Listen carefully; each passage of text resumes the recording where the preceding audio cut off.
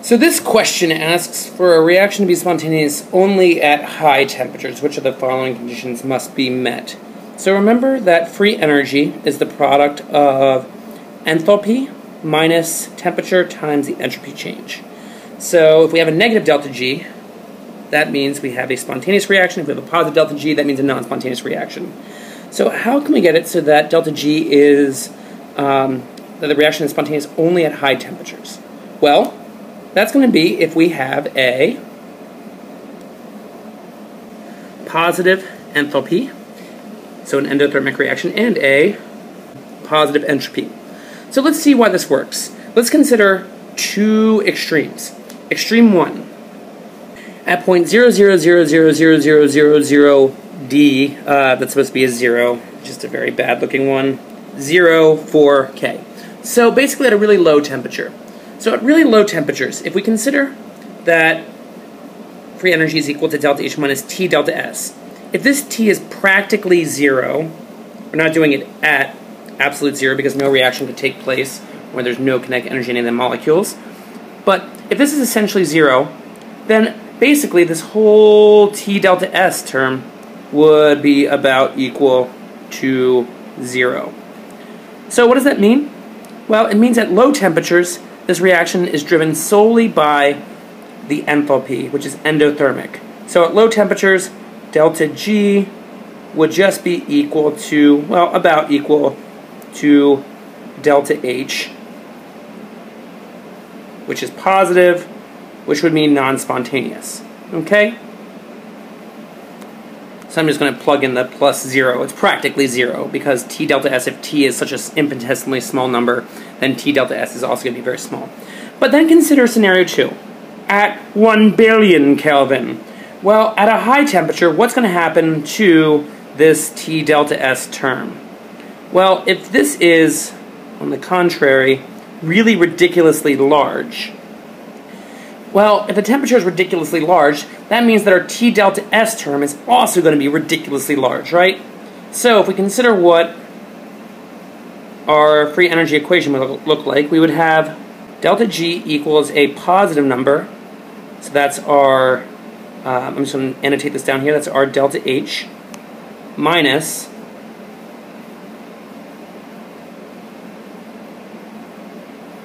a positive number, a ridiculously large positive number. And this is just as a reminder, T delta S. Since delta S is positive, if the temperature is a massive temperature, we're going to have a massive positive number to subtract. And whenever you have a positive number, like delta H, minus a much more positive number, you're going to get a negative.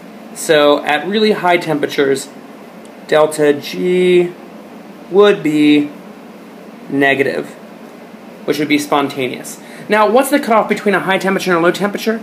That varies for any given reaction. In order to answer that, we would need more quantitative data. But a reaction that is spontaneous only at high temperatures and not at low temperatures has a positive entropy and a positive enthalpy. So it's going to be choice E. In this problem, we want to calculate the free energy change at 1000 degrees Celsius. So note that 1000 degrees Celsius is in bold. So why is that important? Well, remember, delta G standard only applies at 298K, okay? Um, it turns out that um, enthalpy and entropy do not change appreciably with temperature, but free energy changes wildly. So this whole column here is not going to be used to us. This would only be useful at 298K. So I'm just going to scratch that out. What we can do, however, is we can find the free, or we can find the enthalpy change of the reaction, the entropy change of the reaction, and then we can plug it into this equation up here that relates free energy with enthalpy and entropy and temperature. So that's going to be our problem solving strategy. First, let's solve for the enthalpy change using the products minus reactants rule. Eh, eh, eh, so, first let's do the enthalpy.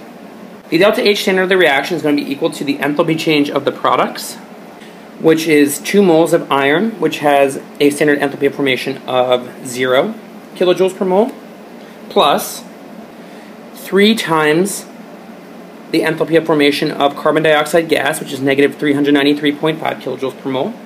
So there we have our products, and then we'll do minus reactants. So first let's look at the iron oxide. So we have negative 822.2 plus 3 times the enthalpy of formation of carbon monoxide, which is negative 110.5 kilojoules per mole.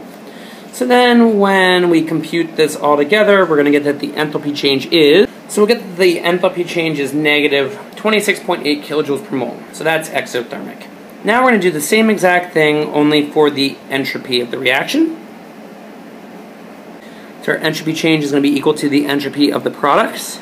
So there we have the total entropy of our products, and we're going to do minus reactants. So there we have our fully written out expression, and let's see what we get for our delta S and we get 11.5 joules per mole Kelvin. So just remember that when we use an equation that relates enthalpy and entropy together, they need to be in the same terms. Okay, so I'm just going to divide this by a thousand to put it into kilojoules per mole. There we go, and now we can use our free energy equation and find out what the free energy change is at 1000 degrees Celsius. So, delta G equals delta H that's our enthalpy minus T. And remember, T has to be in Kelvin, so we're going to add 273, 1,273 Kelvin times delta S.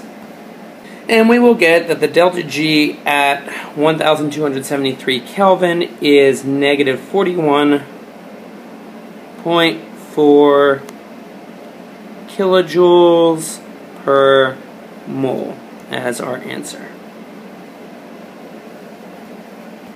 So, as a heads up, as of fall 2018, um, a question like this will not be on the second exam. However, it will make an appearance on the third exam, so we can talk about how to do this one. Um, what we're going to need to know here is that EDTA and ethylene diamine are called ligands. And when they bind, EDTA binds at not one, not two, not three, not four, not five, but six sites when it acts as a Lewis base. So EDTA six binding sites as a Lewis base, whereas ethylene diamine, this molecule over here, takes up one, two binding sites. So this question just wants to know in which case does the metal complex ion not have a coordination number of 6. Um, the coordination just means how many um, lone pairs of electrons are being donated to the central metal. So we're going to go through each of these answers. Um, this first one, the EDTA, remember, takes up 6, so that has a coordination number of 6. This next one, nickel, ethylene, diamine, 3. Well, each one takes up 2, and there's 3 of them. So this also equals 6. And it should be noted that when we're looking for coordination number, we're just concerned with the non-metal stuff inside the brackets, okay? So the brackets are the coordination sphere, and then everything inside of it, we have a central metal, and then we have ligands in there. We just want to know how many lone pairs of electrons are being donated from the ligands. So this next one, we have H2O, there's four of them, we have ethylene diamine. So water Unless we're told otherwise, we can assume that they have a coordination number of 1. So 4 times 1, or sorry, denticity of 1, um, plus ethylene diamine, which is 2. This gives us another 6. Okay. Up next we have two waters and an ethylene diamine. That's 2 times 1 plus 2, which equals 4. So this one here has a coordination number of 4. Again, we're going to worry about that more for exam 3 in fall 2018, but couldn't hurt to answer the question, so it is choice D. In this problem, we're given a graph that involves some thermodynamic entities. So the most important thing for looking at graphs is to find out, pull out as much information as you can from the graph. So we can see here that for our delta H, so delta H, just by looking at the graph, we can see that delta H is negative, right? Um, and again, uh, delta H does not really change that appreciably with temperature, So the first thing I'm going to write down here is that the delta H is negative. This is an exothermic process. Okay? So next, let's look down here at our T delta S term. So down here we can see T delta S. What's happening with T delta S? As temperature increases, T delta S gets more and more negative. So what can we infer then about delta S? Delta S must be negative 2, okay? Not negative 2 the number, but negative comma T-O-O, negative as well. And I'm just going to actually rewrite this because the uh, Doceri watermark is kind of getting in the way here. So delta S must be a negative value, okay? So, why is that significant? Well, now we know that we have an exothermic reaction that leads to a decrease in entropy. And now we can answer all the prompts that were given. So, the first question says delta, or the first statement says delta S for the reaction is positive. Lol, I should think not. That's not true at all. We just showed that it was negative.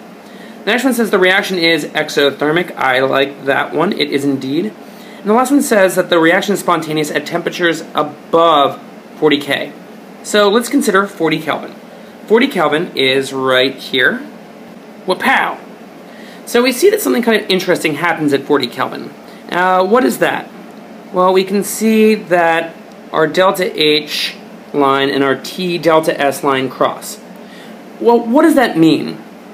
To answer that, look no further than this classic equation right here. So before you get to this point, how do delta H and T delta S compare? We can see that this is more negative than our T delta S's, right? So considering this reaction, or this equation up here, before 40 Kelvin, sorry I've been saying degrees, Kelvin don't get degrees, um, before 40 Kelvin, we have the enthalpy, which is more negative, minus a less negative number. So before 40 Kelvin, that's going to give us a negative value for delta G. And what does that mean? It means that the reaction would be spontaneous there. But what happens after 40 Kelvin? Well, after 40 Kelvin, our enthalpy remains constant, but our T delta S term is getting increasingly more negative. So we'd have a negative minus an even more negative number, which would afford us a positive delta G. So after 40 Kelvin, the delta G would be positive, which means non-spawn. Okay? So before 40 Kelvin, spontaneous. After 40 Kelvin, non-spawn. This says spontaneous at temperatures above 40 Kelvin. That's not true. That's the opposite of what's happening here. So the only one that is right is 2. In this next one, we're plotting entropy change with temp against temperature changes. Um, a few things to point out here.